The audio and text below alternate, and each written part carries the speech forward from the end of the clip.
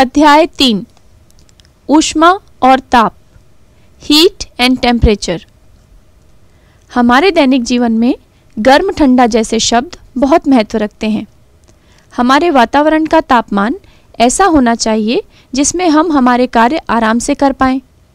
खाने को सड़ने से बचाने के लिए वातावरण ठंडा होना चाहिए, जबकि खाना पकाने के लिए गर्म। गर्मी के दिनों में हमें पंखा चलाना पड़ता है जबकि सर्दी के दिनों में कंबल ओढ़ना पड़ता है। चाय हमेशा गर्म पसंद आती है, जबकि शरबत ठंडा। अर्थात, तापमान व उष्मा की मात्रा को नियंत्रित रखना हमारी कई आवश्यकताओं के लिए महत्वपूर्ण है। 3.1 कितना गर्म, कितना ठंडा। गर्म और ठंडा, क्या केवल ये दो शब्द किसी वस्तु का तापमान बताने के लिए पर्याप्त हैं? गुनगुने पानी को छूने पर आप उसे क्या मानेंगे? गर्म पानी की तुलना में वह ठंडा है, किंतु ठंडे पानी की तुलना में गर्म। गर्म दूध को थोड़ी देर के लिए कमरे में खुला रख देने पर आप कहेंगे कि वह ठंडा हो गया। लेकिन क्या वह वाकई में फ्रिज से निकाले हुए दूध के समान ठंडा है? अर्थात केवल छूकर, महसूस कर या देखकर ही यह बताया नहीं जा सकता कि कौन सी वस्तु कितनी गर्म है या कितनी ठंडी है। तापमान के प्रति हमारी संवेदनशीलता भरोसेमंद न होने के साथ साथ बहुत सीमित भी है। खासकर आजकल के व्यवहारिक और वैज्ञानिक कार्यों के लिए, जैसे उबलते पानी को छूकर तापमान कोई बताना नहीं चाहेगा।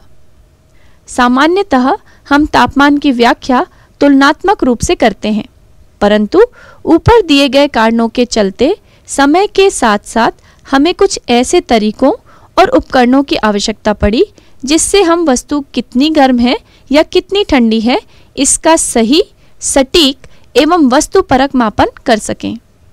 3.1.1 तापमान टेम्परेचर हम जानते हैं कि गर्म वस्तु ठंडी व ठंडी वस्तु गर्म हो सकती है या की जा सकती है।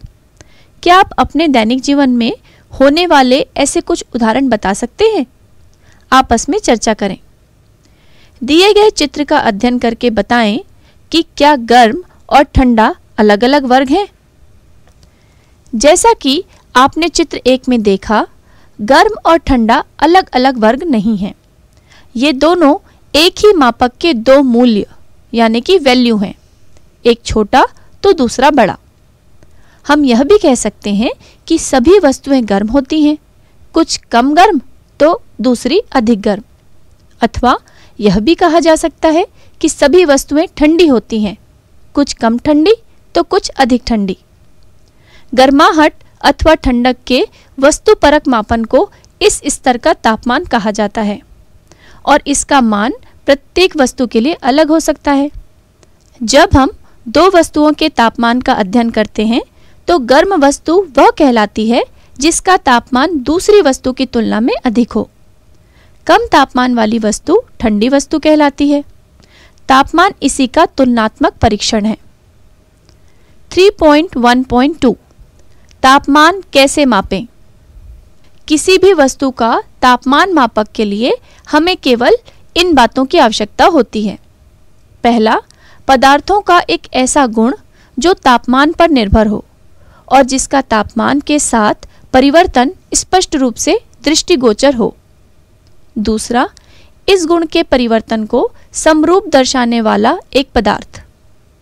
तीसरा, और एक सर्वमान्य व प्रचलित मापदंड की, जो इस गुण के एक निश्चित बदलाव को तापमान के एक निश्चित घट बढ़ से जोड़ता हो।